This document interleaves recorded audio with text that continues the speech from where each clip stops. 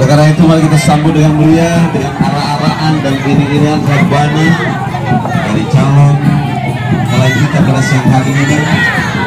Silakan keluarga besar dan